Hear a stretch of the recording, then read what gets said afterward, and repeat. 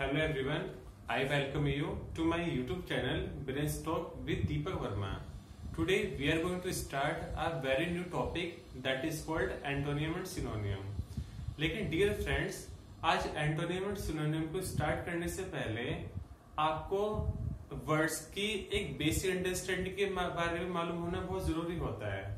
देखिए basic understanding in the sense कि आपको ये पता होना चाहिए कि अगर आपके सामने कोई वर्ड लिखा है सपोज़ दैट मैंने आपसे बोला एक वर्ड ट्रीमेंडस राइट मैंने आपसे बोला कि आप मुझे बताइए कि ट्रीमेंडस जो वर्ड है, वो एडजेक्टिव की फॉर्म में लिखा है नाउन की फॉर्म में लिखा है एडवर्ब की फॉर्म में लिखा है या फिर वर्ब की फॉर्म में लिखा है। तो सबसे पहले तो आपको ये चीज़ पता होनी ज़रूरी होती है। उसके बाद अगर वो वर्ड एडजेक्टिव की फॉर्म में लिखा है तो आपको ये पता होना चाहिए कि हम उससे नाउन किस तरह से बना सकते हैं। हम उस एडजेक्टिव वर्ड से एडवर्ब किस तरह से बना सकते हैं। हम उस वर्ड से वर्ब किस तरह से बना सकते हैं। देखिए, इस चीज़ के बारे में पता होने से ये बेनिफिट होता है कि अगर मैंने आपके सामने एक वर्ड लिखा है ना, और उस वर्ड का आपने मीनिंग याद किया हुआ है तो जो बाकी के वर्ड्स होते हैं like noun like adjective like adverb etcetera तो उनका मीनिंग आप कहीं ना कहीं है ना, खुद ब खुद अपने तरीके से पता लगा सकते हैं राइट तो आज सबसे पहले मैं आपको ये बताने जा रहा हूँ कि हम किस भी वर्ड को नाउन में किस तरह से कन्वर्ट करते हैं एडजेक्टिव में किस तरह से कन्वर्ट करते हैं, और हम उस वर्ड की पहचान किस तरह से करते हैं कि भाई ये एडवर्ब में लिखा है एडजेक्टिव में लिखा है वर्ब में लिखा है, या फिर किस फॉर्म में लिखा है? तो आइए फ्रेंड आज सबसे पहले हम बात करते हैं इन चार के बारे में।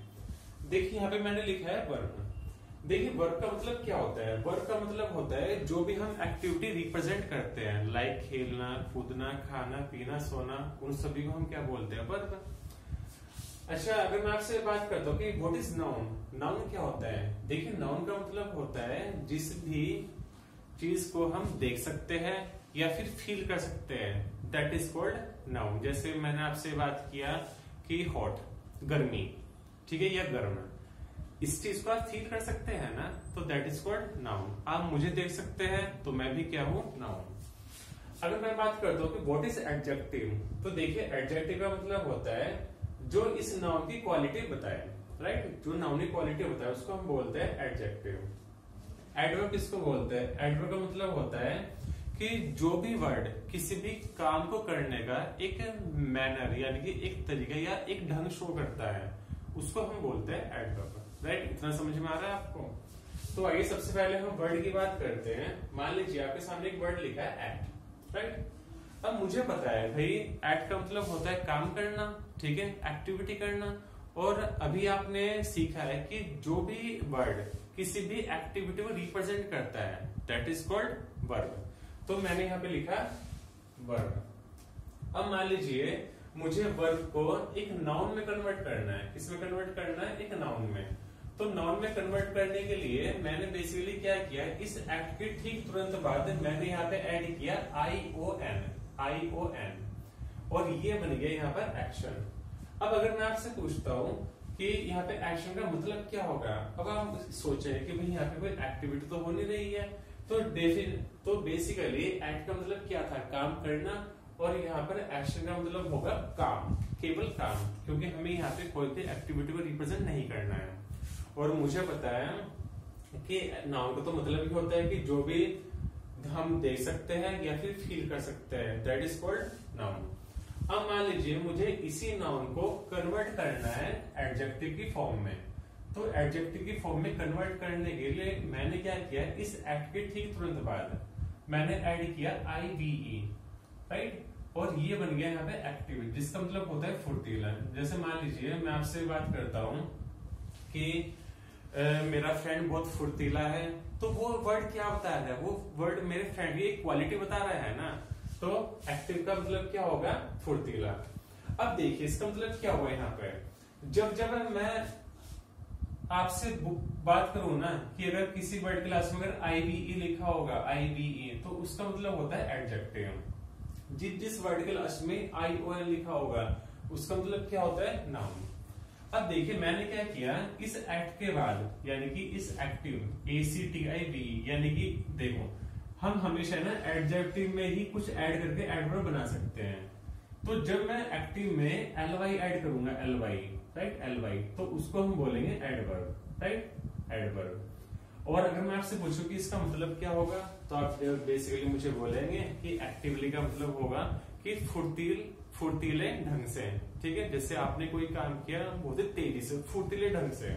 तो उसको हम बोलेंगे वहाँ पे एडवर्ब तो देखिए, मैं आपको एक बात और बता रहा हूँ। अब से आपको दुनिया के लाखों करोड़ों वर्ड में से जिस जिस वर्ड के लास्ट में एल वाई लिखा हुआ मिलेगा एलवाई राइट एलवाई लिखा हुआ मिलेगा। तो वो क्या होगा हमेशा? एडवर्ब राइट समझ में आ रही है बात? तो देखिए, हम नेक्स्ट बात करते हैं कंसिडर कंसिडर का मतलब होता है विचार करना राइट कंसिडर का मतलब क्या होता है? विचार करना.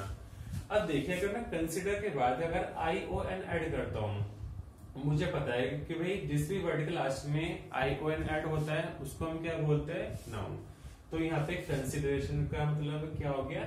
नाउन अब देखिए कंसिडर यानी कंसिडर के बाद मैंने यहाँ पे आई ओ एन की जगह इस बार क्या ऐड किया है? Able A B L E able able का मतलब होता है योग्य। देखिए कंसिडर का मतलब होता है विचार करना। अगर मैं आपसे पूछूँ कि कंसिडरेबल का मतलब क्या होगा तो आप क्या बोलेंगे मुझे? आप मुझे बोलेंगे कंसिडरेबल का मतलब होता है विचार करने योग्य राइट तो जो भी चीज़ विचार करने योग्य होगी, उसको हम क्या बोलेंगे? एडजेक्टिव अब आप देखिए, हमने पढ़ा है कि हम हमेशा ना एडजेक्टिव में कुछ ऐड करके उसका क्या बनाते हैं? एडवर्ब तो मैंने यहाँ पे क्या करा? कंसिडरेबली यानी कि यहाँ पे लास्ट में भी मैंने क्या ऐड किया? एल वाई और अभी आपने पढ़ा है कि जिस भी वर्ड के लास्ट में आप एल वाई एड करते हैं, उसको हम बोलते हैं एडवर्ब राइट इतना समझ में आ रहा है?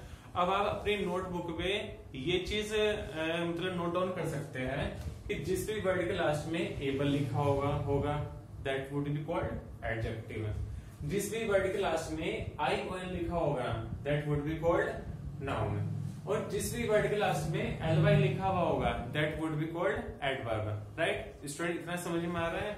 देखिए, हम नेक्स्ट वर्ड के बारे में बात करते हैं। देखिए, जैसे यहाँ पे लिखा है attend A T T E N D attend attend का मतलब क्या होता है? अटेंड का मतलब होता है उपस्थित होना।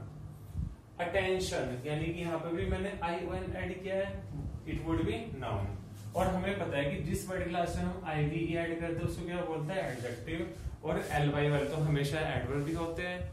लेकिन देखिए, ऐसा नहीं है कि 100 परसेंट हमेशा एल वाई वाले एडवर्ब ही होते हैं, लेकिन 95 परसेंट जो भी, जिस भी वर्ड क्लास में एल वाई लिखा हुआ होगा that would be called adverb अगर मैं आपसे बात करूँ डिफर राइट डिफर तो डिफर का मतलब होता है अलग होना राइट डिफरेंस डिफरेंस का मतलब क्या होता है? अलग।